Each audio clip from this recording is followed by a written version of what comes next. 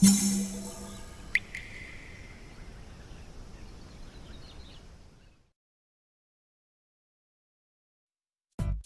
うも、底辺アクアリスト黄昏です。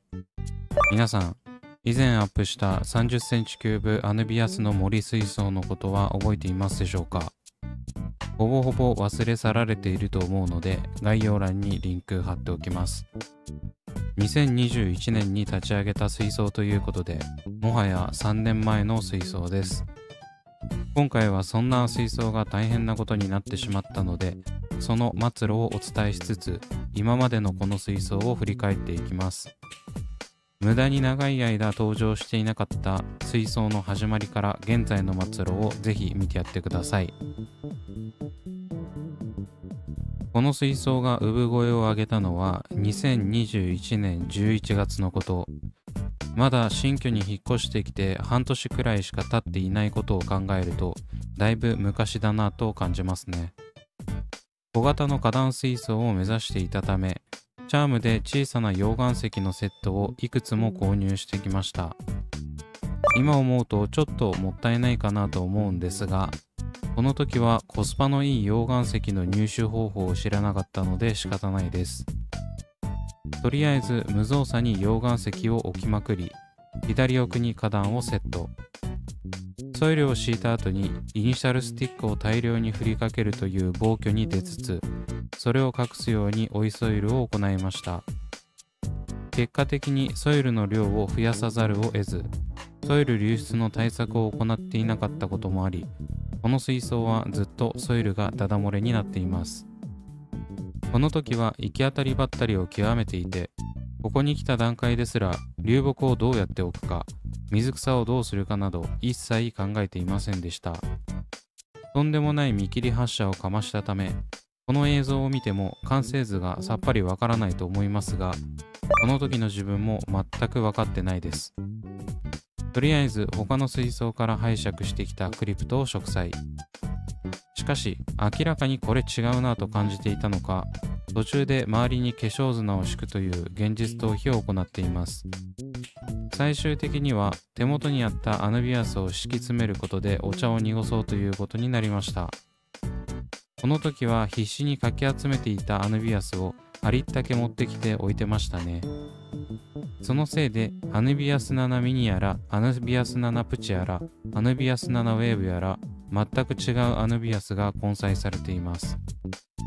半ばやけくそ気味というかそもそもアヌビアスだけならイニシャルスティックどころかソイルもいらないじゃんという話なんですけど、やってしまったものは仕方ないです。もはやソイルはただアヌビアスを上に置くためだけの土台になり下がっており、それ以上の意味をなしていません。そして注水を始めているこの時点ですでにソイルが流出しています。もうめちゃくちゃなんですが、ここをしっかりお伝えすることで、皆さんにこれだけ頭おかしいところから、現在はちょっとマシになったことを分かってもらう作戦です。しかし、この何もかもがはちゃめちゃな立ち上がりを見せたこの水槽。注水直後の濁った水から外部フィルターを設置し数日経過した後の透き通った環境になってからガラッと雰囲気が変わりましたこんな感じで全く意図してなかったんですが今見てもなかなかいい感じに仕上がっておりまさしくアヌビアスの森という名前にふさわしい進化を遂げました上に飛び出している流木も個人的にお気に入りで三角構造を担う重要な役割を果たしていますちょっと汚い接着剤跡は残念ですがまさか立ち上げてすぐに綺麗さのピークを迎えるとは思ってもいませんでした。この水槽が3年という歳月をかけて動画で消費されていった理由も、このアヌビアスという陰性水草のみをセットしたことに起因します。いつも立ち上げているような有形層バリバリの水槽であれば1年以上経過することで限界を迎えてリセットという形で幕引きできるんですけどあまりにも変わり映えしないため動画ネタにできるほどの内容がなく長い期間を経てやっと1本の動画にできるという感じだったからです。そこから明らかに卵巣にまみれて汚くなっているサテライトで飼育していたエリスロミクロンを導入したり似た種類の花火を導入したりとこの水槽でやりたかったことはこの時点でおおむね達成しました。ちなみに生態を導入した時の水槽の状態はこんな感じでもはやストック水槽と化しています。ここに映っているブセファランドラクダガンの群生株は90センチ水槽にも出張して活躍する息の長い水草となりました。さすがにコリドラスも入れたかったのでしばらくしてから化粧砂ゾーンの水草は撤去し元の状態に戻っています。この時はコリドラスを飼育できるような水槽がここしかなくいろんなコリドラスをこの水槽に導入していました。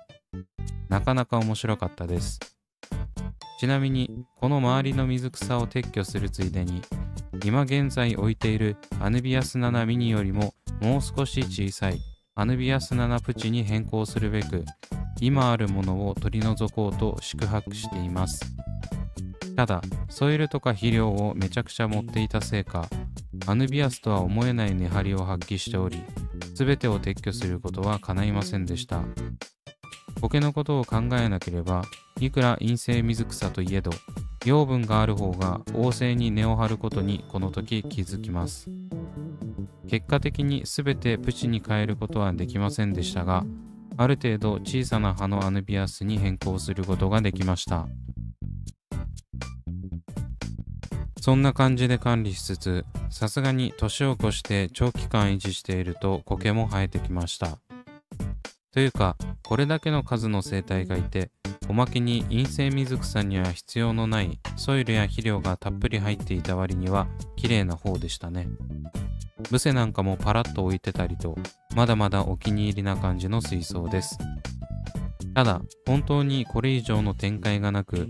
先ほどのような大改装でもしない限り全く動画にするようなことが起きませんでした。もはや過去のことすぎて覚えていないんですがこんな感じでギットギトの油膜をどうにかしようと奮闘することくらいしかネタがなかったのではないでしょうか。唯一油膜を食べてくれるブラックモーリーを追加で導入したりもしたんですが焼け石に水でどうしようもなくなったため最終兵器油膜リアを投入。一時期油膜が張っている水槽にこの油膜リアをセットし映像のようにぐんぐんと油膜が吸い込まれていく様を見てストレス発散することにハマっていました。この油膜リアはマジでおすすめで1000円ちょっとで買えて簡単に水槽にセットできるためこんな感じで気軽に油膜を取り除くことができます。正直見た目はあまりよろしくありませんが少し稼働させるだけでこれだけクリアにしてくれるので常にセットする必要がないのもいいところ。自分のうちのようにどの水槽も1日経ったらすぐに油膜が張るというような状況ではない限り一家に1台あれば事足ります。単純な構造をしているためお手入れも簡単で故障する可能性も限りなく低いため取り回しコスパ最強のアイテムです。そんなこんなしているうちに立ち上げから1年以上経過しいろいろ問題が発生し始めたためこの頃からテこ入れをするようになりました。まず行ったのは給水パイプにストレーナーをつけることです。変えようと思った理由はご覧のように給排水ともにガラスパイプを使用していたことによりこの給水スリットから細かな汚れが外部フィルターの中に溜まっていき目詰まりを起こすようになったからです。何度掃除してもスリットがすぐに詰まるししまいにはスリットを掃除しても流量がとんでもなく落ちたのでこれは根本的な解決をしなければということで重い腰を上げた次第です。もはや汚すぎて泥みたいな状態になっておりこのまま運用してもしっかりとしたろ過は期待できそうもありません。歩きを抜いた水を入れて清掃し中身もできるだけきれいにしました。ご覧のようにとても綺麗になったんですけどよく見たら藤のスパイラルギチギチに詰めすぎですね。もっと少量でいいと思います。取り付けたスリットはこんな感じのやつで景観を最大限損ねないようなビジュアルをしています。ただこれが効果てきめんでこれが一番最初の物理除化を担ってくれるため流量低下が起こる速さがだいぶ遅くなりました。セットしてよかったです。それからは割と好調で苔も減って水槽内も綺麗になりました。他には ADA のクリアウォーターという魔法のアイテムを使用して水がクリアになったのも影響していると思います。また1年以上経過して生体数が減ったのも影響しているかもしれません。この頃になると臆病な花火とエルスロミクロンは全く出てこずもさもさになったアヌビアスの森に隠れるようになったため全然干渉できなくなっちゃいました。なのでこの映像の前から餌につられて出てきた生態を少しずつ別の水槽に移しています。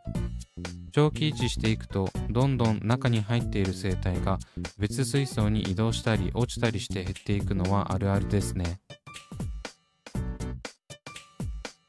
そこからは本当に何もないというか、もはやコリドラス専用水槽みたいな感じになりつつあります。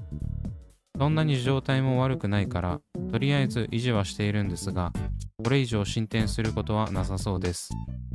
ただ、周りの水槽のスネールを駆除しだしたところから、この水槽はどんどん荒廃していくことになります。水替えと餌やりは当たり前ですけど続けていたんですが、苔対策とか壁面掃除とかは最低限にとどめていました。せっかく周りのスネールがいなくなったのに、この水槽をいじりまくって別の水槽に何らかの形で飛び火するんじゃないかというのを危惧していたからです。最終的にはコリドラスも別水槽に移動し、できるだけ触らないようにしていました。結果、さらにスネールが幅を利かせるようになり、ご覧のようなありさまに。本当、この映像を見るだけでゾッとするので、やっぱりスネールは入れたくないですね。水槽で癒されたいのに、こんな壁面にうじゃうじゃ気持ち悪いスネールがへばりついてたら逆にストレス溜まります。そんな水槽の最後の頼みの綱ということで、ここに来てスネールキラースネールを導入しました。2匹購入したんですけど、こいつらの働きぶりを評価できる最後のチャンスだと思い送り込んでいます。結果的に3ヶ月ほどそのまま様子を見ていましたが、一向にスネールが減る気配はなく、スネールキラースネールが捕食している姿も一度も見れなかったということで、あえなくこの水槽は3年の歴史に幕を閉じることとなりました。この水槽があることによってずっとスネールの恐怖に怯えていないといけないですし逆によく粘った方だと思います。間違いなくこの水槽は自分が維持してきた中で最長期間を更新した水槽であり今後このレベルでリセットを行わない水槽は現れないのではないでしょうか。長期維持をコンセプトとした水槽を立ち上げない限りは難しいと思います。というわけでこのアネビアスの森水槽は3年間維持してきて最終的にはスネールが大繁殖し荒廃していきリセットするという末路をたどりました。行き着く先はやはりスネールということでいかにこのスネールという存在が自分の中で大きな問題になっているかがわかりますね。まあスネールがいなかったとしてもいずれは新しい水槽を立ち上げるためにリセットすることになったでしょうし今回はいい機会だったかもしれません。この水槽は3年前に立ち上げたにしては全然動画で登場させることができずコスパという面ではあまりにも悪かったんですけどレイアウト自体はとても気に入っていたので今後もお気に入りの水槽が長期維持できるように頑張りたいと思います。今回はリセットするだけだとあまりにも内容が薄すぎたためこの水槽を供養するという意味合いでも今までの歴史を振り返りつつ動画にさせてもらいましたせっかくなのでぜひこの水槽に関する感想などコメントしていただければ幸いですというわけで今回はここまで。